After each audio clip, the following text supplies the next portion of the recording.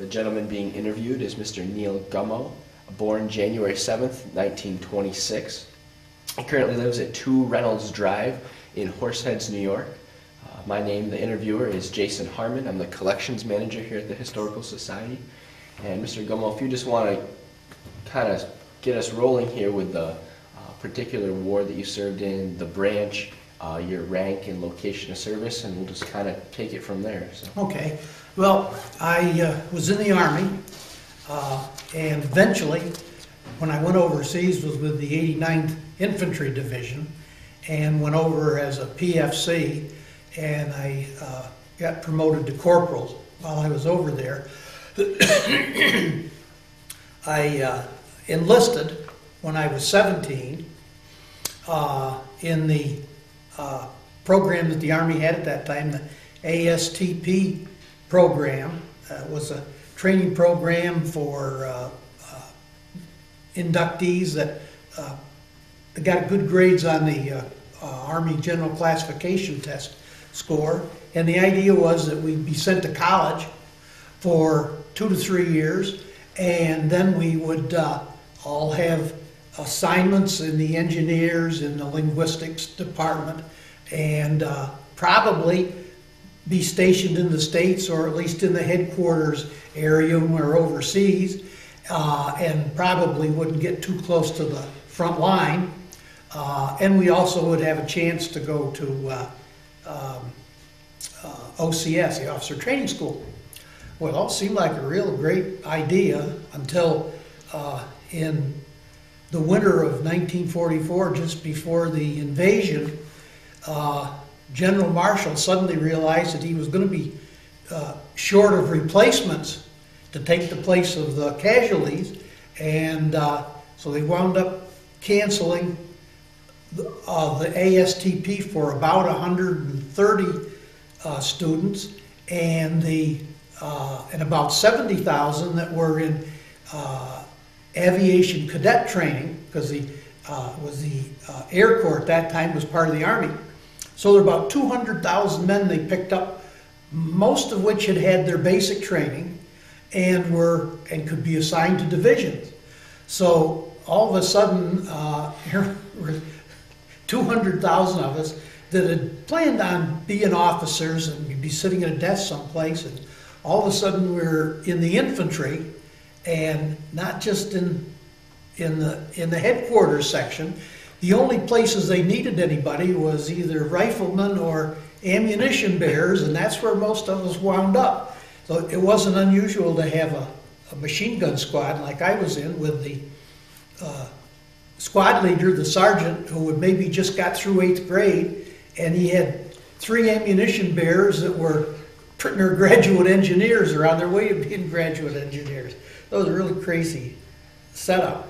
But uh, that was, I uh, was with the 89th, and uh, we went overseas in, in January, the next January, 45, and were assigned to the Third Army, General Patton's uh, army, and uh, went through Luxembourg, and, and it was about at Luxembourg that we, or just past Luxembourg, that we uh, went into the front lines into, as, into combat. Uh, our first big uh, mission, I guess, was crossing the Moselle River, and most of the bridges had all been bombed. Either we'd either blown them up with air with the uh, with bombs from from planes, or the Germans blew them up on their way back, so we couldn't use them. So crossing the river uh, uh, was either in uh, little assault boats or I was driving the Jeep for our squad, and uh, so I got to go over in one of the Higgins boats that we carried around, used a lot. Uh, you could back a Jeep and a trailer in and go across and get off the other side. And uh, moving on up through the Rhine River crossing, and uh, when the war was at the end, uh, the 7th of, of May, we were right on the Czechoslovakian border. Uh, there were some troops that got into Czechoslovakia. We didn't. We were we were stationed right on the line that they had drawn. And said the Americans would go no further than this, and the Russians were. So we were we were waiting for the Russians to come for three weeks, I guess. And they never did come where we were, just a little further north of us was where they finally had the meeting of the Russians and the, Um, what made you interested in enlisting, even at the age of 17? You know, still before when you had to. Uh, partly because that was, it looked like one of the best chances that I'd found to get a college education. Uh, I was, lived on a farm, brought up on a farm, and uh, I've always said kind of as a, as a, as a joke, although it was really true, my father and grandfather were great men, wonderful men. I, I couldn't ask for anybody better. And they were very hard workers but they had lousy timing. They went into the dairy business in 1928, just ahead of the Great Depression, and spent the next 20 years trying to get out from under. Uh, so things were, were pretty lean through the 30s, but, but most of the farms were in the same situation, so it didn't really seem that bad. Because if everybody's barefooted, you don't think about having shoes. you know, Right. so- Not that we were barefooted, but. Uh, and uh, I had always thought I'd like to be in the military. And I was thinking this morning, I used to look through the Boys Life magazine and look at the ads for military schools and think, gee, that'd be fun to go to a military school. but it never occurred to me what you did beyond being fun. Yeah. And so that was, that was part of it. Uh, and there were five of us. This was a rather, rather small high school we went to.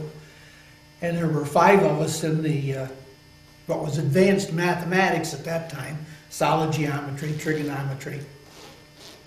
And, uh, uh, and four of us all decided that we would take this uh, AGCT test just for fun, and we all uh, scored quite high on it because we immediately got word that, that uh, they were interested in us. So we all enlisted, three of us in the Army and one in the Navy. He was the smart one. He went in the V-12 program, which wasn't canceled. And he stayed right on at the uh, University of, Car- of North Carolina uh, till the war was over. He spent the whole war going to school. So, uh, so he did get his education. Uh, the rest of us didn't. And, um, but the three of us all went, got out alive. Uh, one of them, uh, just by just by chance, was sent to a division that was all ready to go over, and they went. He was over there right shortly after the invasion. Uh, the, the 89th that I was sent to was uh, was just in the process of rebuilding, and so it took four, five, six months to rebuild, retrain before we went over. So anyway, uh, this uh, fellow's name was was Tallman, Dick Tallman, and he played soccer. was a was a good soccer player, and played defense. And had a heck of a kick. And we picked up the nickname of Boomer. They call him Boomer Tallman. And uh, he was in at the Battle of the Bulge. Uh, got a battlefield commission, a second lieutenant, and uh, happened to be back home uh, when I got out of service and got a chance to see him. And, um, uh, and, and shortly after the war was over, uh, he, he got an appointment to West Point. He'd had that in for a couple of years or more. He was already a second lieutenant, so he had to resign his commission, start over as a plug at West Point, and uh, finished that, came out, and unfortunately, uh, he worked his way up to brigadier general and was killed in Vietnam. So of the four of us, he's the only one that didn't didn't make it back. Um, in terms of your, your boot camp and training experience, both the academic and the, the actual boot camp experience, you know, what was that like? Is there anything that sticks out in your memory in terms of of what you had to go through or, or anything like that? Well, we were, uh, the first eight or nine weeks that I was at Fort Benning. And Fort Benning is the biggest uh, infantry training base for the Army. Uh, It's an enormous place. And it's where the uh, uh, airborne troops were training, the paratroopers were training there. Uh, The Rangers were training there. And so we were using some of the same facilities. We weren't doing exactly the same training, but it was basically the same basic training that the paratroopers and the Rangers were, were going through. Uh, and then after I'd been in the, was in the hospital, got out, and they, and, uh, I went to another infantry training camp, uh, and, and finished up. But the, uh, the training at Benning was considerably rougher and, and tougher than it, than it was, uh, uh, at the next camp that I went to. That was, uh, because it was pretty similar, as I say, to the, uh, in fact, we were out in, in the field, uh, whether we were marching or whatever we were doing. And, and pretty every day, we'd see planes coming in, the paratroopers jumping out, you know, practice jumps and so on. Um, in terms of, of when you arrived in Europe, you said that it was in January of, of 45. Mhm. Um, can you share 44. 44, I'm sorry. Can you share a little bit about when you first arrived, some of the early experiences, things like that? You're right, it was forty-five. Okay. Okay. Yeah, January of forty-five. Um, you know, the, uh, all of our, practically all of our regiment was on one ship going over, about five thousand, which makes a pretty good boatful. And they're, uh, and they're crammed in six, six bunks, six high with only about eighteen inches between bunks. Um, and, uh, the joke was that the, the, the top bunk was the best place to be in case anybody got, got seasick. Uh, but, and it was, it was a very rough crossing. January in the North Atlantic is a, I, being a farm boy, I hardly, never seen the ocean before. In fact, never been away from, more than thirty miles away from home till I got on the bus to, to leave. Uh, and, um, uh, we were quite fascinated with the, with the looks of the ocean, although it was a little bit uh, scary seeing these big waves coming in and so on. We, the, the rumor was that we were going to Southampton, and I guess that was, from what I've read since, that was right. We were gonna go to Southampton, and then they were going to do some uh, maneuvers and so on. Well, we got off the coast of, of British Isles, didn't know it at the time, but uh, there were a lot of subs in the area.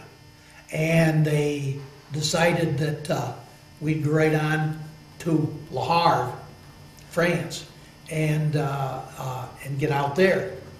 Well, Le Havre, all of the coast of France, of course, the, the docks had all been bombed and, and uh, or blown up. So uh, we had to uh, we had to go in and uh, uh, LCIs, landing craft infantry, uh, down the side of the ship and and, and into the and we and they for some reason the army always does things like that in the middle of the night. It was and it was January and colder the dickens, and uh, uh, a few guys got wet and then they had to sit there in their wet clothes for the next two hours. uh, anyway, we got in, loaded in big trucks, tractor trailers with no tops on them, just benches along the side. And it was about 30, 40 miles to the camp. The Army had set up camps right around the Havre, and uh, for some reason they were all, they called them the cigarette camps. One was Lucky Strike, 20 grand, um, Philip Morris, uh, and uh, we went to uh, Lucky Strike. And since we weren't supposed to be there, there wasn't, the, the only thing that they had been able to get set up was, was uh, the tents with the top of the tents, no, no side uh, curtains on them. And they'd had about eight inches of snow, so it was about eight inches of snow inside the, the tents. When we got there, oh, probably two o'clock in the morning, something like that. And they had set up a, a, a little mess line right out in the field with, I don't remember whether it was soup or, or uh, uh, beef stew or whatever it was. It was hot anyway. And uh, we could go through the line, and the line was probably a quarter of a mile long. You go through and get a canteen cup full, go back around, get in the end of the line, and that's what we did. Uh, wasn't anything else to do anyway. The next day, we got side curtains on and then got cots. But a, a canvas cot, when there's snow under it and, uh, and it's maybe 20 to 30 degrees, is, is just as cold on the bottom as it is on the top. And it was, it was quite, quite cold sleeping there for a while. Uh, after we'd been there a week or so, the weather warmed up. All that snow melted and made the darndest mess of mud you ever saw. We spent uh, days and days shoveling gravel. Trucks were hauling gravel in and we'd shovel gravel, trying to make a solid road or a solid place to put anything. And, uh, uh, well, yeah, that's, at least it's fairly safe here anyway. We'd- Occasionally, there'd be a plane coming over to, uh, looking for something to strafe, but it wasn't wasn't a, a big problem. The first men that got killed in our division, uh, there was, a- there was an airstrip, it wasn't being used, right near where we were, and the Germans had mined the airstrip. And the, the guys in the engineering battalion were clearing it, and I think there were either two or three of them that were killed clearing the mines. Uh, It was the, the, the- about the least uh, desirable job in the military, I think, is, is uh, demining an area. Now, overall, in your um, regiment, in the, the men that you were serving most closely with, um, in the combat that you saw, were there a lot of casualties? Were, I mean, was it kind of limited to, to operations like the mine clearing? Well, we didn't have the heavy casualties that some of the divisions did. Some of the divisions, like the, the first division, the Big Red One, and one of my friends from Big Flats was in that. They were in Africa, and then they went to Italy. Then they came back to England and went in the invasion, and some of the guys that went in the invasion had been all through Africa and Italy. Uh, this, friend Ike, uh, fought with the first up through to the Battle of the Bulge and, uh, and was taken prisoner and was in a POW camp until he got out. So we, we had, we had a few that were POWs, but by the time uh, that we got into combat, it was a little different than what the, the fellows had seen back on the coast of France, uh, because we were, uh, we were really beginning to push pretty hard. We had a lot more men, a lot more equipment, uh, and uh, although we had, uh, I, if I remember right, there's someplace in the neighborhood of 2,000 in the in the in the division that were casualties. Uh, in our uh, platoon, uh, our first casualty was we had uh, two two medics in our platoon, and the first one was the was the first one in our uh, company that was killed. That was on the Moselle River crossing. Uh, went out. One of the guys was hit. He went out to try to help him, and and he got killed. Uh, and then um, our uh, ammunition bearer uh, was shot through both feet.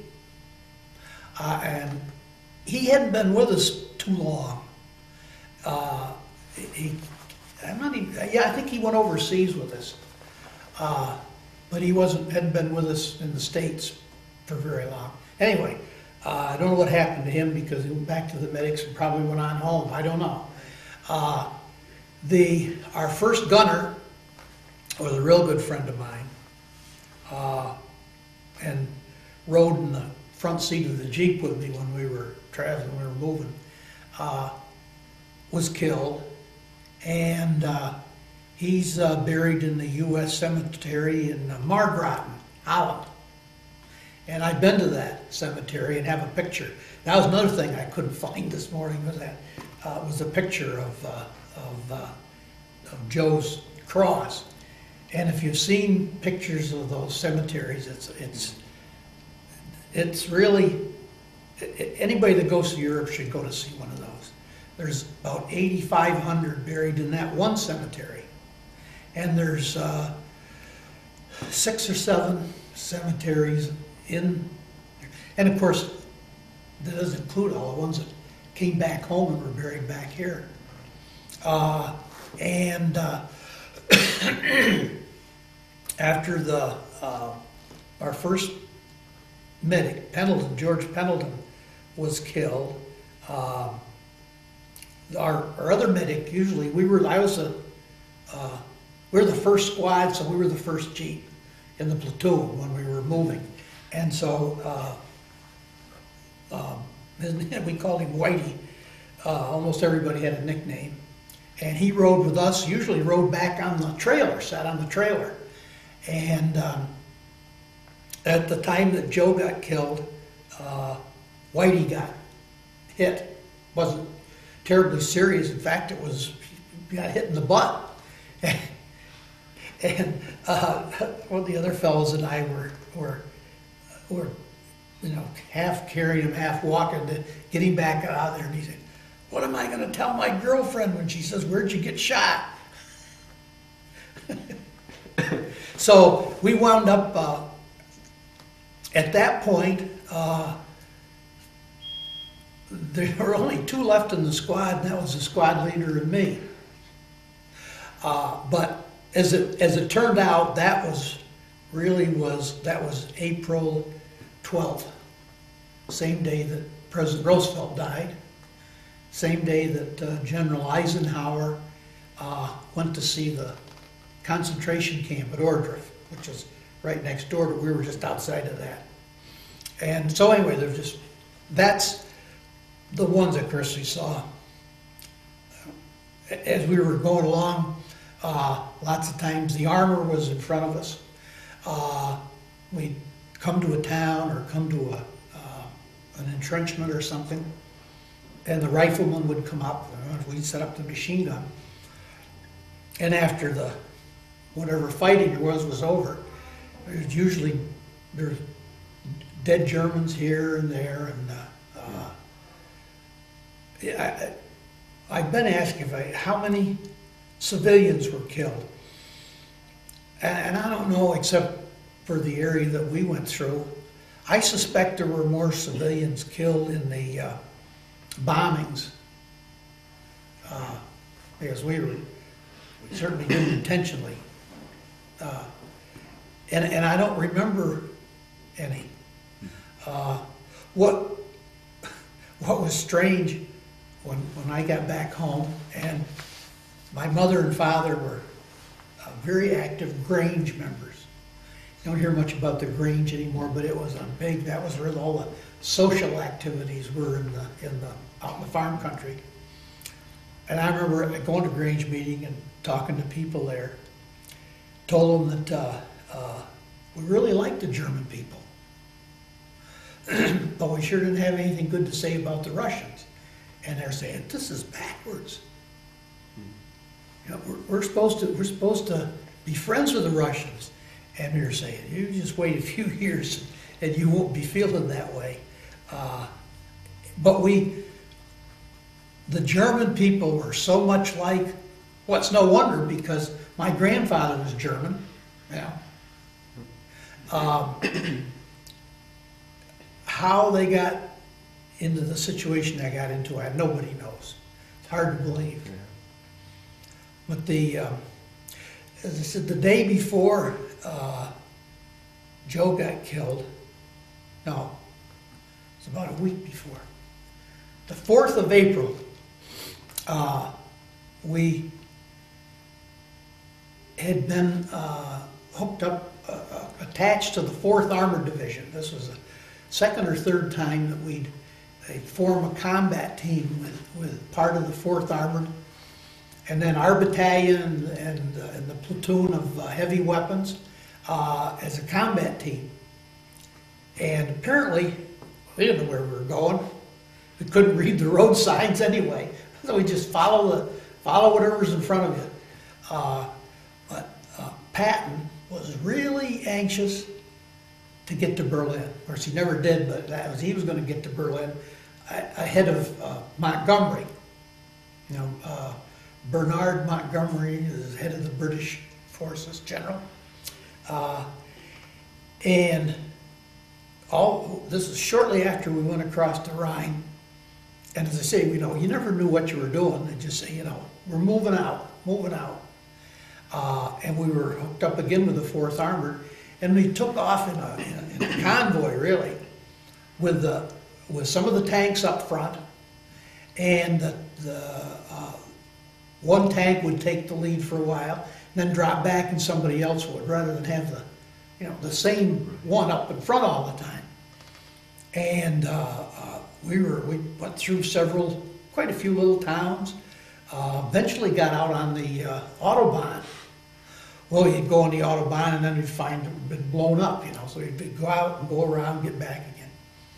And uh, all we knew was that was that every time we tried to stop and catch some sleep, you just about get to sleep and somebody'd say, "No, we're moving out again." In fact, but in in our platoon, I, I only remember it in our platoon. Uh, when you had to, you know, and I used to have to get the other drivers up, you know, we would give them a boot or something, and we used to say, let's roll. And if you remember on 9/11, the, the plane that, uh, that went down in Pennsylvania, uh, uh, and that was when uh, he was talking to his wife, and he said to the other guys, let's roll. And when I heard that, I got the funniest feeling because that's exactly what we used to chase each other out we'd say, let's roll. Uh, we, we finally stopped at, uh, at Gotha. And at that point, we know now we were about 50 miles ahead of the front of the line, the front lines. Uh, we just pulled way out. And that was what we were supposed to be doing breakthrough, uh, blow up everything in sight, and keep moving. But we were running out of gas. Tanks were running low. And so we had to wait for, for more fuel. And uh, uh, where, where we stopped at Gotha was probably just really a few miles from the Ohrdruf concentration camp. And uh, that same day, some of our uh, battalion that were out on patrol uh, came on this concentration camp. And then some of the 4th Armored came in, and in fact, there was a, a big fence and a gate, and, and uh, uh, one of the tank destroyers came up and, and just drove right through and flattened the fence. And, and that was uh, what first started uh, people knowing about the concentration camps. So by the time by the time Eisenhower got there, we had kept on we kept right on going. We were 20, 30 miles further up into Germany by the time he got there. But I've got some pictures of it if you want to see them. Sure, we can uh, we'll do that later on in the, the interview. So, uh, but I would love to come back to that. And, Yep. now, just about life while you were were in the army, while you were overseas. Um, can you talk a little bit about um, everything from how you kept in touch with your family to the food to what you guys did for entertainment? Um, just kind of what you remember about just general life while you were in Well, there were uh, two, two particular things that I have, have remembered and thought about a lot, and it kind of falls in the fun category. Uh, when just about a day or two after the seventh of May, I'm not sure just what day. Our transportation corporal and I were, we'd both been in ASTP, so we're good friends. And for some reason, we were up in the, uh, uh, the company headquarters. We'd been sitting there for several weeks. Then you kind of got settled in, we had a mess tent set up and so on. We were in company headquarters and our company commander was Captain Izzo, Edmund Izzo. And I just learned he lives up in Vermont. I'm gonna try and run him down next summer if he's still alive. Uh, and he came in and uh, we were just just chatted a little bit. And he said, "Hey, when did you guys have a furlough?" And we started laughing. He said, "You gotta be kidding." He said, "No, when when?" I said, "I never had one. Neither one of us. We'd had a couple of delay in routes and a three-day pass, but we'd never had a furlough." And this is what two years, I guess, since we've been in. And he said, "Well, I just got a notice here that uh, there's a certain number of men from the battalion uh, are that we can send um, on a uh, on a leave, and uh, and we're supposed to send one officer and two men from the from uh, Company M." And he said, "I think I'm going to appoint myself to go." He said, "You guys want to go?" I said, "Sure, why not?" So he's well. Let's not spread the word around too much. So uh, a day or two later, we just left, and very few. Of the company clerk knew where we were going. They didn't know what we were up to or where we were going or anything. Well, it turned out we were going to Riviera, down to Nice, and we got took the train down to Nice, and uh, we were there uh, ten days, I think, and. Um, since we, uh, in the, uh, situation that we had run into when, when Joe got killed, uh, what it was, was a, was a trap, and there were, uh, two Tiger tanks that were, that were camouflaged on the edge of the woods, and we did, we did, I guess, blame the platoon leader, uh, pulled around the corner and stopped and left me sitting right on four corners, and you never do that. And Joe jumped up to, to yell at uh, uh, Howard Merrill was driving the, platoon leader's jeep, and he, we called him Peavy. And he stood up and he said, Peavy, get the hell out of here. And just about that time, they opened up and he was shot right through the head, sitting right next to me. But anyway, uh, they we piled out into the ditch, and uh, uh, and they proceeded to shoot up the jeeps, and we couldn't couldn't get the jeep out of there. Mine wouldn't run, uh, and anyway, we had to get back up into the woods because we had nothing to fight tanks with. We didn't have any. Uh, everything was with the riflemen, and, and they were uh, quite a ways away.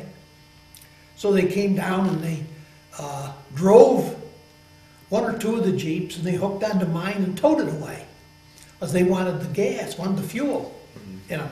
And they knew there were cans on the back of the Jeep and in the trailer. Anyway, we, but also all our clothes were in the trailer. So we had, you know, not, not even a shaving kit. Everything was gone except what we were wearing. Uh, and we managed to get uh, a new suit of what we called ODs, olive drab wool. So we wound up on the Riviera in combat boots with wool pants and wool long sleeve shirts. And, uh, but anyway, we were there uh, 10 days. Uh, just a day or two before we were ready to leave, uh, Captain Izzo showed up. And he said, well, I don't know if we're having a good time. And he said, well, he says, I just found out the division is moving. They're going back to the coast, but they're not shipping out. So there is, you know, he said, and, and, and we don't, we haven't really been officially notified that they're there. So he said, uh, I'll, I'll, I'll get back to you in a couple of days. So a few days went by and he came back up and he said, well, the division's back in Camp Lucky Strike again, and they're gonna be sitting there a while. So he said, I think we'll, think we'll go up to Holland. So we got the whole bunch on a train, went to Holland, checked into a rest camp in, in Holland, in Kerkrade, Holland. And he said, uh, oh, tomorrow, the next day, I'll send a message to, to the division that, uh, that we're up here and ask them where we're supposed to go. Well, that took three or four days, so we were in Holland three, or four days. And, and then he came down and he said, well, we got word, we're supposed to go back, supposed to go to Paris, and then they'll send trucks up for us. So we went to Paris, and he waited a couple days to let them know we were there, so we spent three, four days in Paris, and finally got back to join up with our uh, company. And then these guys saying, where in hell have you been? And when we told them we'd been on the Riviera and in Paris. uh, But that, I certainly remember that, that was, uh, that was, that was a lot of fun. We, it was, it was kind of worth waiting to get a chance to do that. Um, how did you stay in touch with your family while you were over there? Was there was there any communication back and forth? Or? Uh, yeah. Um, really, it wasn't too much of a problem up until the time we, uh, the whole division pulled out, uh, to head for Luxembourg. And, uh, I've got a big shoebox that I found after my mother died, all full of letters that I sent her. And I haven't been through any of them. I haven't really wanted to, uh, I should, uh, but I haven't. Now, there's a gap, I think, from uh, about the time we left Camp Lucky Strike until the war was over. Uh, There wasn't much of any place, well, you could, if we, if we, if we uh, uh, went back into the reserves for a day or so, uh, we'd get a chance to write a letter and give them to the company clerk and he'd get them mailed. And then sometimes they'd bring up a sack full of mail and you know, but, uh, for the most part, uh, it, uh, uh, we were able to communicate back and forth pretty well. Um, in the field, like you mentioned, arriving and it being 20 degrees and eight inches of snow. What was the the food like um, over the the long haul? Well, it wasn't much to brag about. In fact, the surprising thing is that they were able to get anything to us. And, uh, and although it's sort of an unwritten rule that nobody ever claims that a meal is any good. Uh, that, that's against the rules. You have to complain about it. and, uh, and you hear, uh, even today, you hear uh, the guys that I have coffee with. Uh, I said, Well, I'm having chipped beef on toast tonight. and they said, Didn't you get enough of that? I said, You know, it really, it was pretty good. Uh, I didn't complain too much about it. The, the rations that we, that we had, the K rations and the uh, D rations were really emergency. That was nothing but a chocolate bar so hard you couldn't hardly chew it. K rations weren't too bad, and C rations were like canned hot dogs and beans, canned beef stew. Uh, if you could heat it up, it wasn't too bad. Uh, and I was lucky that I had the Jeep, so we could carry couple of cases of C rations in the Jeep, or in the trailer. And uh, since it was my trailer, uh, I get most of the hot dogs and beans, which were the best ones. And uh, when we start out in the morning, uh, I put a can of hot dogs and beans on the manifold under the hood, and uh, you know, in an hour I'd have, have a can of hot hot dogs and beans. And we carried a little uh, little uh, gas stove. I'm not sure where we got it, but those little gas stove. We could put a pan of water on it and heat it and make coffee. We usually had coffee uh, to, you know, to carry with us. So we were better off than the rifleman because we had the Jeep to carry things in. When we, uh, I don't remember how long, but uh, we'd been up in the line for two or three or four days. Usually they rotate out and rotate back into reserve. And uh, if, if we stopped in one place long enough for the uh, kitchen to come up, uh, it's amazing. We'd, uh, we'd get back and they'd have like beef stew is what I remember. They had beef stew and, and uh, but they had pretty, pretty good meals. Uh, I told the, the grandchildren, I- in fact, I wrote about, uh, wrote a little thing about what I did over there. And uh, when our uh, ammunition the zoo, got shot through the feet, uh, at that time, they were uh, also shooting at the Jeep too, and- and we were trying to get a machine gun set up. Anyway, there's, uh, we knew that it was a sniper because you could tell from, from the sound Right. what it was. You could, yeah, so you could tell an M1, uh, you could tell a grease gun, the the old, uh, machine guns, and you could tell a burp gun, because nothing sounded like a burp gun. When- And you could, and you could tell, uh, the eighty-eight shells when they went over. Uh, and they don't sound like they do on television. And bullets don't sound like they do on television. You know, you hear, well, trying to make it sound good, you know. But they snap. If you hear a snap, just like a broken twig, you know there's one pretty close to your ear.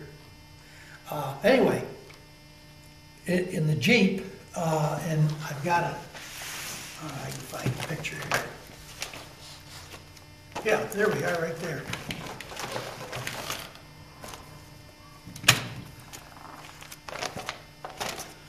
The Jeep I drove was just like that. That's one, I took that over in Holland. Uh, People in, uh, in Holland, and in France, uh, have gotten these old army vehicles and restored them, fixed them all up, and they put them in parades and things. Can we, can we set that aside so that we Oh, can get sure, a, a close-up later sure. on? This, this windshield folds down. Mm-hmm. See how the little arm comes down there? You unhook two latches here, the windshield folds down flat against here. And then there's a canvas cover goes over it. And, and that made a dandy place to hide things or stick things. And I used to carry my mess kit in there. And just stuff the mess kit in, and if we ever got a place where we were gonna get a hot meal, I had the mess kit. Yeah. And uh, it was several days after uh, the zoo had got shot, and we got to go back. They had a mess line set up. I went and got my mess kit out, and it had a hole in it. Ah, Went back and looked, and sure enough, there was a hole through the canvas too. Put a hole right through my mess kit. Uh, and kids thought that was kind of funny. There's uh, one of the, uh, one of our 89, that's at Margraten Cemetery.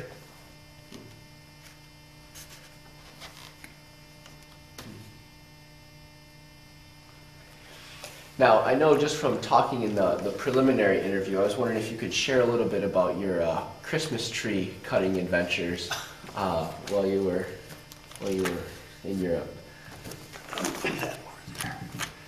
Yeah, that was, um, after we'd had this great escapade of going through, uh, Riviera, then it was back to work. And, uh, I'd been driving the Jeep, but I had, uh, a license. And believe it or not, the Army made you have a license before you could drive anything. Uh, an Army license, of course. I had an Army license. I could drive up to two and a half ton trucks. And uh, so, and at first I was, I knew the guys in the motor pool and so on. So I uh, started driving a, a, a two and a half ton truck. And I, I had a picture, that's the one that I was driving.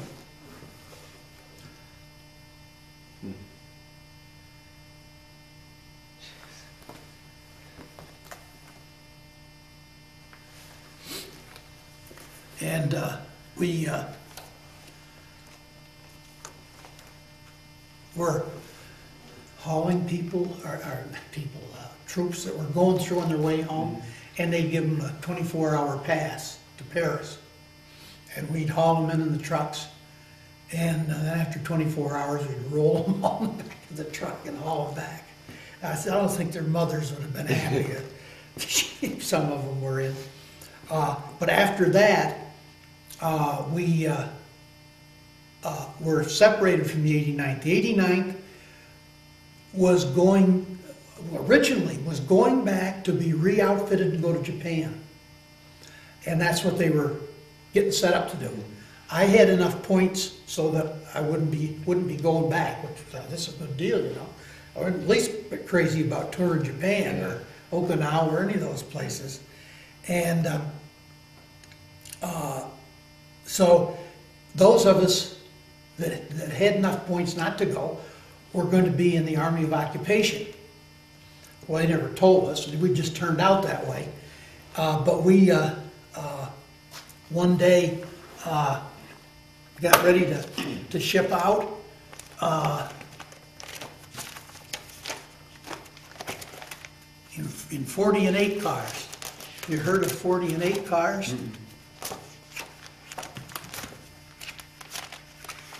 Well, they're French, they were, they were famous from World War, uh, World War One. Uh, they, they, it says, forty homies and eight chevaux, means forty men or eight horses. And, uh, I know I've got a picture, oh, there, it's right there. Uh, that's what we rode in. That doesn't show much of it, but they were the most primitive things. No, no springs or anything, just bump, bump, bump. Anyway, here's, here's all these 48 cars, half a dozen bales of straw on each one. And so we climbed aboard. And it took us, I think, three days or more to, to get, to get to Austria, which is where we were going. Because they'd pull off to the side and, and let us through trains through. Then we'd pull back out and away we'd go again, eating C rations. And um, said, that's where I learned to play bridge on a bale of straw. Uh, the was, one of the fellows was teaching us all how to play bridge and we're sitting around with a deck of cards. But that uh, took us up to um, St. Florian, the monastery in Austria, in St. Florian. And uh, our uh, platoon just happened to get assigned to guard the monastery. And we were there three, four months, I guess. Uh, very many people in town. Uh, and uh, we uh, uh, pulled guard duty. I had was back driving my Jeep then. In fact, I, it, it, while we were there, was with the 83rd Division, and uh, and I got my corporal stripes, and was acting as motor pool sergeant, and was expected to get my third stripe as a sergeant most any time. Uh, when I suddenly got shipped to Vienna, I don't know why, but went to Vienna. But in uh,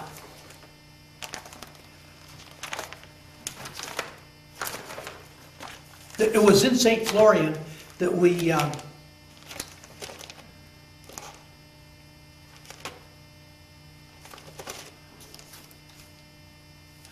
uh, met uh, Peter. Peter, F-U-C-H-S. Peter and his uh, uh, sister, Kathy, and his mother. And there's a, there's a, there's a letter that his mother sent back to, to my mother. Uh, and, uh, we, this little Carl was a, a sharp little guy. He's 10 maybe, I guess, someplace around 10. Uh, and uh, he was always coming over, hanging around with my friend Jake and I, and, and uh, we go to the monastery. He and they were living there in a little apartment. They were refugees from Yugoslavia, and the same. It is funny that if you go back a couple of years, when we were having the Bosnia Serbian, is exactly the same thing, only they were monarchists, they were loyal to King Peter. And, and they, they uh, conscripted his father and brothers, and so they, they, they got out of the country and got over into Austria. Uh, And uh, just, they're displaced people, really. But Carl had learned some English, and he wanted to improve his English, and he'd come up and, as I said in the letter, we taught him to play blackjack, taught him to play poker, not for money, but just for fun. And, uh, uh, and of course, we always giving him stuff, just taking through the chow line in the, in the mess hall. And, uh,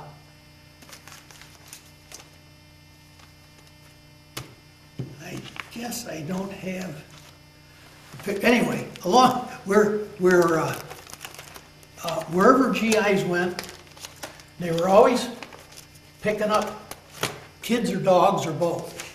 And we had Carl, we also had a nice little dog that Jake and I had, we kept there, he used to ride around the Jeep with us. And, uh, and- and Carl did, and, uh, uh, you know, as I say, as it came up to, to Christmas time, and, and one day, uh, uh, we said something about it. Did they celebrate Christmas? And he said, oh yeah, we're Christians, and we celebrate Christmas, but we aren't gonna have a Christmas tree this year, because, uh, well, there just weren't any, I don't even know you could buy one anyway. And, uh, but there was an estate just out of, out of the village there a little ways with not, not a plantation, but just all kinds of trees, a lot of little pine trees. And uh, we said, well, we'll go up there and cut one. And he said, we're not allowed to go up there. And we said, well, maybe you aren't allowed, but they're not gonna tell us they're not allowed. And so Jake and I went up and we cut a tree for Carl and we cut one for the mess hall, brought it back down. And uh, then we went to church Christmas Eve. Jake was Catholic. So we went to, to church where these two big uh, spires are, is the church is right under there. Because that's an enormous place. There were about 20 monks there in that whole darn place. I, I guess it's still there today. I'd like to see it again because I mean, it's really impressive when you come up the road. Big thing. And they were, uh, there were, at that time, at the end of the war, there were still a lot of, particularly SS troops, that were the, the worst of the bunch. And they just disappeared. Uh, got rid of their uniforms, put on old clothes, and uh, there were, and I haven't, I've never seen any pictures, and I, I sure wish that I had, because I lost my camera when with the Jeep. I had a lot of good film, I think. But uh, the last of April, 1st of May, the main roads leading out of Czechoslovakia, Poland, were just a solid stream of DPs, displaced persons. Uh, we, we'd watch them go by all day, maybe half the night. Uh, then they just go over in the field and lay down, go to sleep, and get up. They didn't know where they were going. As they got back into our rear area, they were trying to round them up into camps and feed them, and, uh, and that was a real problem too, because what are you gonna do with them afterwards? Uh, But, uh, uh, that was basically what Carl and, and his family were, were displaced persons, and, and they found that the, some of the SS troopers get into old clothes and then mix in with the, with the DPs to get on back and get back into Germany someplace. And I'm sure a lot of them did. Uh, we used to sit there and watch them and, and, and to see if we could pick any of them out. And that's what we were doing up there was patrolling the roads.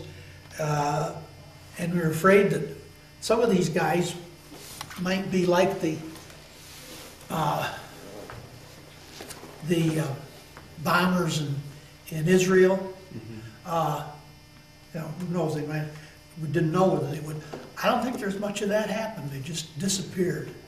Of course, they hunted down some of the ones they really wanted. Right. and we never had any trouble up there, uh, fortunately. But that was, that was, I've had some, I had kind of had some fun. You just kind of mentioned, you know, boy, I remember the Christmas I spent in the monastery, you know. Uh, And- go ahead, I'm sorry. I was gonna show you.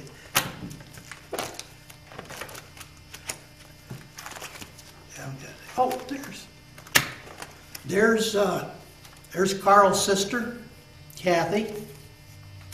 And there's, uh, there's the Christmas tree we were cutting down. That's us out there, and that's a picture of Carl that his mother sent us after he had grown up. And, uh, we don't know just where he went to after that. We didn't, kind of lost touch with him after that. What I'm gonna do is I'm gonna take a short break here, and we'll switch the tapes, and then we'll Okay, keep going, so. well, I'm having fun if you are. Two of the interview taking place with Mr. Gummoe on Monday, December 16th, 2002, here at the Chemung County Historical Society. My name is Jason Harmon. Um, and Mr. Gummoe, I want to kind of shift gears a little bit to the time uh, as your service was coming to a close, your last days. Uh, is there anything that you can recall about um, how you were feeling or just the process of, of your service coming to an end? Yeah, sure, I, I just threw me a little bit when you said you wanted to talk about my last days, you know. I apologize. Well, uh, I spent the last three months, I guess, uh, the time I was in Europe, in Vienna. And it's, I found most people, I don't know why they'd be aware of it, but they're not, that uh, along with Berlin, Vienna was a four-power city. It was in the Russian zone, was split into four sections. There was a French zone, uh, English, Russian, and American zone.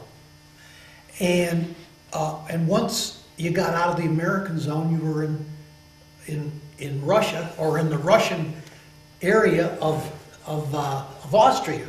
So you really couldn't go too far. And, uh, and for going back and forth, uh, either did it in convoys or, or on the train. Uh, but, you know, having a chance to be in Vienna was, was really nice. And there we had, um, we had taken over a restaurant, would have been a restaurant, bar, sort of a nightclub really, as our mess hall. And we had uh, Viennese cooks and Viennese girls to wait on the table. And, uh, on Friday nights, they had a Viennese band. Uh, I think it had an accordion and a bass, maybe a saxophone or something. But since Vienna was the, was the home of, of Strauss and the Strauss waltzes, they played everything to the same beat. no matter what American song it was, it was it was all to the oom pa pa. But that was all, that was all right. Uh, and uh, and I was in Vienna when I got uh, my, finally got enough. You were awarded points for uh, being in combat, length of time over there, and different things. Got enough points, you get get shipped home. So I shipped home from Bremerhaven, uh, and uh, Fort Dix, New Jersey, and then was discharged from from Fort Dix to go home. Uh, and uh, one of the things I had said that uh, uh, when I get home, one of the first things that I want to do is is get myself a motorcycle. Uh, I'd had a chance to ride motorcycles a little bit. So sure enough, that was one of the first things I did. was get myself a Harley Davidson. And uh, had a lot of fun with that. Anyway, that I uh, applied because we had the GI Bill that you're probably familiar with. Uh, I applied to Cornell and applied to Penn State. I wanted to take ag engineering, uh, and hadn't heard from either one of them. And it was getting close to close to time to, to go to school. And one of our next door neighbor's uh, sons called me and, and uh, he said, uh, I'm, I'm looking for a ride to go to Alfred. I said, where's Alfred? He said, well, I've got a, an interview up there. And he told me about it. And I said, well, I'll go up, let's go up. He, had an interview with the head of the ag engineering department, who was a good friend of his father's. And that's the way things happen sometimes. We were up there on a Saturday, and we got a tour of the ag engineering building and, and all around the campus and so on. And, uh, uh, I think the man's name was Mr. Hinkle.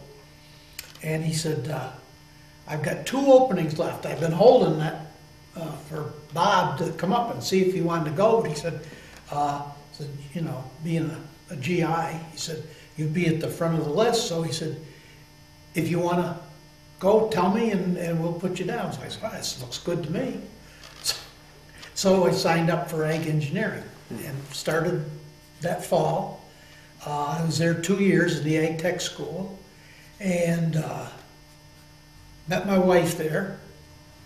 And uh, we, I, the, the second year I was there, I sold a motorcycle. And I told my kids, uh, I sold the motorcycle because I couldn't afford a motorcycle and a girlfriend both.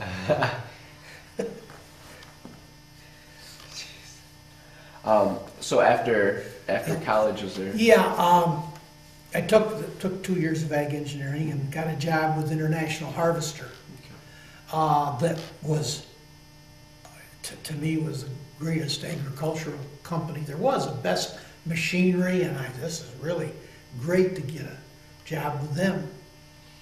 And I was with them a year, just about a year, and became quite disillusioned with the way the, the way the company was being run. Even, I was an assistant zone manager, but I was, could see enough of what was going on to, to think it wasn't, wasn't what I wanted to do. I wanted to be in the service area anyway, and they had me selling refrigerators and freezers, which wasn't what I trained to do at all. And uh, I guess it was, I guess I was right because two years before I would have retired, they went out of business, Went completely out. Sold out what was left, the case equipment and so on. Uh, anyway, it, it, we were living in Ohio we just decided that was enough. So I, I quit, resigned, and, and uh, uh, we took off and went to California. We're out in California a year and a half. And um, I had worked for a short time before I went to college for uh, a new organization that was just getting started in Pennsylvania. It was a dairy cattle artificial breeding cooperative. And uh, when I went out to California, I wanted to look into that. I did talk to several people, went out and rode with Limithels. Even at that point, uh, they were way behind what Pennsylvania had been. And I could see it was going to be quite a while before there was much of anything was going to happen in California. And uh, so I wrote to Cornell and got a letter right back saying that they were expanding and hiring. And if I came back to, told me who to get in touch with. So we said, well, heck with this. We packed up and came on back. And uh, I went, I went out to Cornell right away and, and uh, hardly missed a day's work for 37 years.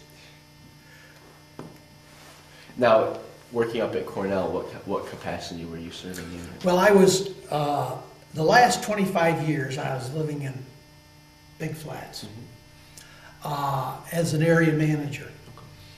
We, we had, in the, in our area, which at that time was uh, New York, all of New England, uh, about half of Pennsylvania, and, uh, and a, and a division in California. But I had very little, but about 25 to 28 men working for me, all scattered through the southern tier, northern tier of Pennsylvania. And, and they were actually doing the inseminating uh, or delivering semen to farmers. Uh, today, most of the big farmers have a herdsman right on the place that actually does the breeding. We deliver the, or our co-op delivers the semen to them. Uh, It's quite technical these days. Uh, And uh, so, well, my job was hiring, training, firing if necessary, and public relations. Spent quite a bit of time on that, uh, working with dairy farm groups, uh, putting on some programs uh, and goodwill things. Right. Um, over the course of, of your years after the service, did you, or have you joined any kind of veteran organizations um, specific to your regiment or, um, you know, like a, Yeah, this, this is, this is the main one. This is the 89th, 89th Division Society. okay. And that's wherever, wherever there's 89th Division. Uh, They just had a, their uh, summer uh, national get-together in Indianapolis. Okay. And I probably would have gone, but it was the 25th and 26th, and I was due to go in the hospital the 27th for a knee replacement. So that was into that. Uh, and I belonged to the VFW and the American Legion. Never been particularly active. I hadn't had any desire to be a post commander or anything like that. Uh, Um, from the time that you that you served in the military overseas through all of your boot camp experience, is there anything in all of your experience uh, that's that reshaped something a way that you thought or that's influenced you even to this day, um, years down the road from from those experiences?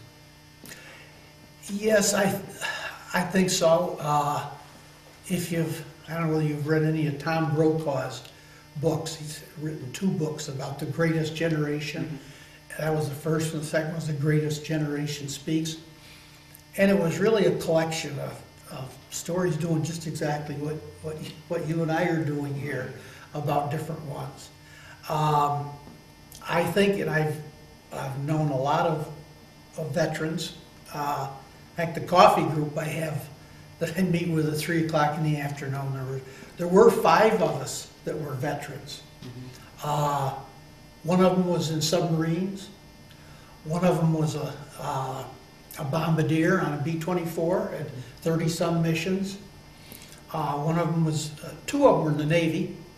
One of them, well, one of them was in submarines. One of them was in the Seabees, building landing strips and docks in the South Pacific.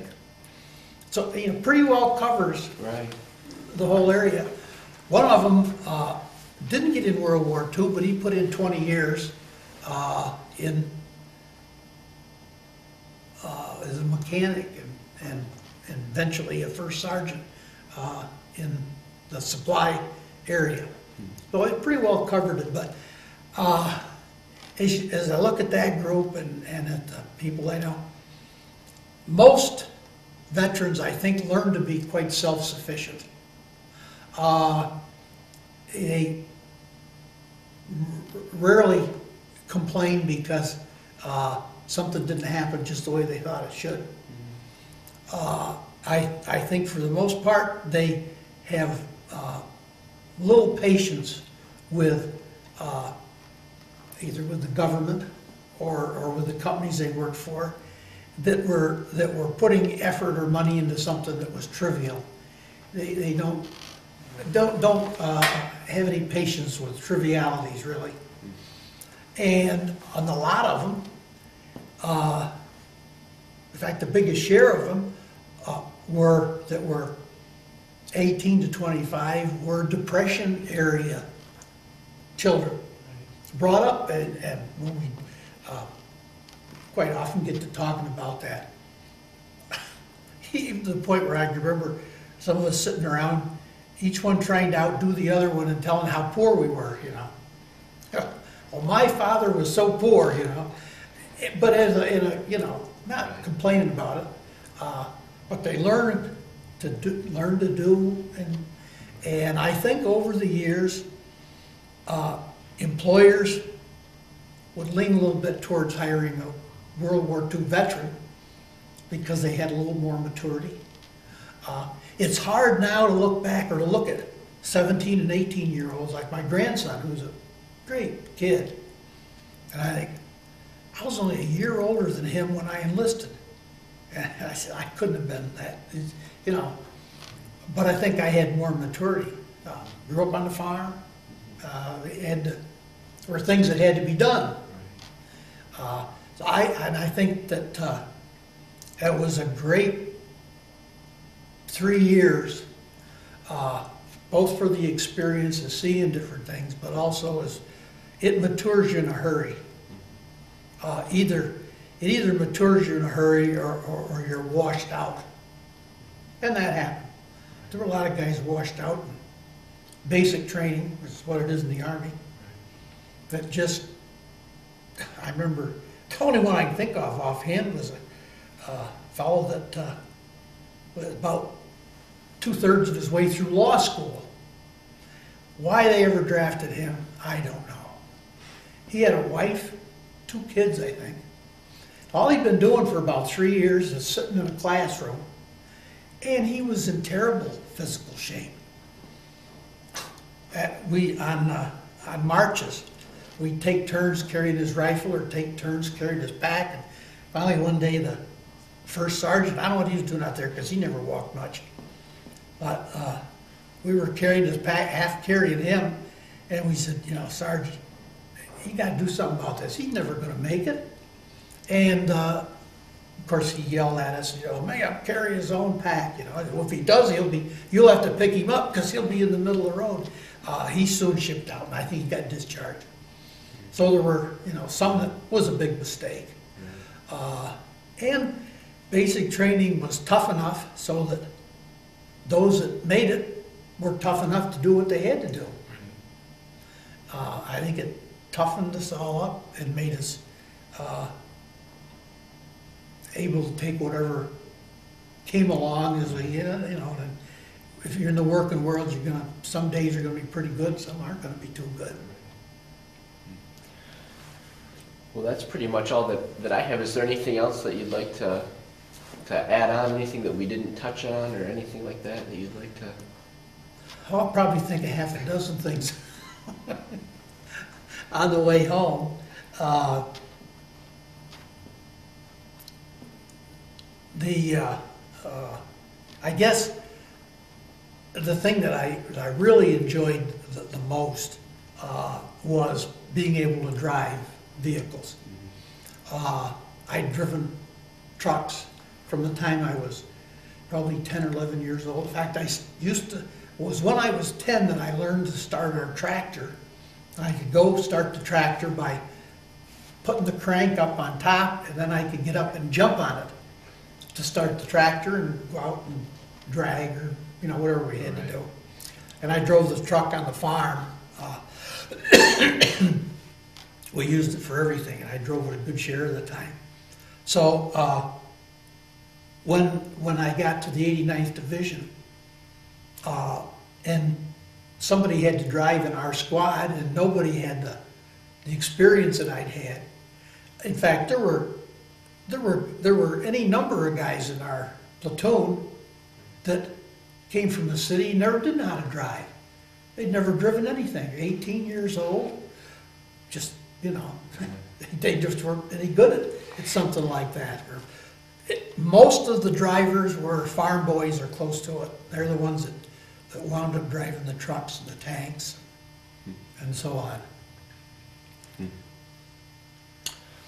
Well, what I'd love to do is to, to take some time and spread out some of the, the items that you brought and, uh, Okay. have you narrate. So we'll go ahead and we'll move into that part and Okay, this is two pictures of uh, the monastery and a couple other pictures of this big monastery in St. Florian, Austria. And our platoon was there from October to January to guard the monastery to make sure that uh, that it wasn't damaged by any SS troops or anybody else wandering around. Uh, nothing happened while we were there. Uh, there were very few monks there. Uh, there's a big church. The only thing we really found out was they made excellent wine, and we had a deal with the with the uh, with the brothers that uh, they'd provide us with a certain amount of wine if we didn't go down and take any ourselves. so that's what we did. Uh, we had a good relationship with them. This is a GMC two and a half ton six by six truck that I drove uh, in the uh, summer of 45 uh, when we were in Camp Philip Morris uh, right after the war was over with. And we hauled troops and that, mostly troops, from one place to the other. Uh, This is a picture of me later when I was in Austria for several months from uh, February till May when I was, was discharged. This is a, was sent by the Holocaust Memorial Council to uh, all of the 89th Division infantrymen that, that were still alive that they uh, knew of. The reason was that uh, in April, early April of 1945, uh, our battalion happened to be the ones that stumbled on the Ohrdruf concentration camp, and at that time, that was the first, the first, uh, first American troops to get into one of the uh, major concentration camps. And this was at Ohrdruf, but Ohrdruf was part of Buchenwald, Buchenwald. Uh, so, and that was, was big. There were, I figure they usually had about 8,000 uh, inmates at, at Ohrdruf. Uh, There weren't that many when, when the 89th Division got there because they had tried to get them all out of there as much as they could. Is my battalion history, and it's kind of interesting. Uh, You know, we're um, really fascinated with what's politically correct today. And you have to be very careful how you speak about any minorities, and- rightly so. I I don't have any disagreement with that. But uh, 50 or 60 years ago, uh, it was perfectly natural. In fact, the newspapers would have such things as how many, how many Japs had been killed or, or uh, so on. And the, the- and the Germans uh, were called Krauts, uh, along with a few other names. Okay, there was, now this would kind of startle people today. Th- This was the motto of the, of the battalion.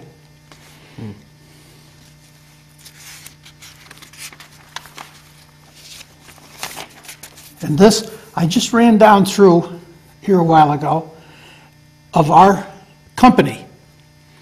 The names that are in our company uh, uh, from time we went overseas, replacements and so on. And look at the interesting, interesting names. There's Earl Okamoto, uh, Steiger was German, Christofides was Greek, Berkowitz, Ruxnitis, Lemso uh, was, I guess he was Chinese, Cervantes, and of course we got a Smith in there, and, and then O'Toole and O'Brien, and Joe Orsini was uh, uh, Italian. So, what he, just about everything you can think of. Uh, Irish, uh, on. This is our, the division monument in Colorado Springs. Uh, This was put up in the, in 1980 someplace, I think. This is where the division was activated. They were a mountain division to start with. Uh, This is the, uh, the ribbons and the, and the campaigns. Uh, This is a uh, Europe, Asia, Middle East campaign. Uh, Actually, there's the, the campaign ribbon, and then two stars means three different, three different battles. So actually, there's three battle circle, one is the, is the ribbon. These are the patches of the divisions. This was the ASTP patch when I first went in. This is the one that I'm probably the proudest of, of any of them, is the Combat Infantry Badge. And you won't see very many. This, just this bar with the rifle is expert infantrymen, and you occasionally you'll see them today. Uh, And anybody that's got them knows what it is with a wreath around it. You, you only get that if you were in combat for uh, 30 days. And there's, there's some, some funny cartoons about the guys that are in the rear echelon. They're just far enough back or in, in a group, in a, because it was given by the uh, battalion, regiment, uh, and and you and you see, see guys back in the, uh, in the headquarters area wearing them. Anyway, that's what, that's my corporal stripes. This is our Governor George Pataki engineered uh, awarding these to, to combat veterans. And this isn't the Jeep that I drove, but it is one exactly like it. And there you can see it with the windshield folded down, and that was the way that we, that we usually had them. It also doesn't have the, uh, a wire bar on it. We, most of them, in fact, the ones that were up in the, up in the front lines, had a bar. We welded a piece of angle iron from here right up like this, and then at the top, there's a notch cut in it and sharpened. So that if you, if, if you hit a tripwire, or if you came to a tripwire, and, and they'd have them set up just high enough so they'd miss this windshield and catch you under the chin, that, it- that would cut the, that was the purpose for it. And, uh, this is, this is just a map that was in uh, General Patton's uh, memoirs, Uh, and I marked the concentration camps that were right here in a row. And they were, all of those were discovered because it, this was the front lines right down through here. They were all discovered within just three, four days of each other. Ohrdruf was the first one because we happened to be out in front, and Buchenwald was there, Nordhausen. The, the British uh, were at Bergen-Belsen, and Dachau was down there. Interestingly, this is Mauthausen, and I, right by Linz, and I was stationed in Linz for a while after the war was over. This is a American cemetery in Margraten. There's about 8,000, 8,500 uh, graves there, all of them marked with a cross with their name. This is one of the 89th Division. And there's one, this isn't a picture of it, but there's one there for our uh, first gunner that was killed, Joe Orsini. And uh, I did get to the cemetery. With 8,000 crosses, it'd take you a long time to go around. And it happened to get there on a Saturday, and there wasn't anybody there to, they've got a register where you can look, see where it is, there wasn't anybody there, so I couldn't look up Joe's, but I did find this one, took a picture of. Joe's would be just the same thing as that. I do have a picture of it now, only it's a black and white.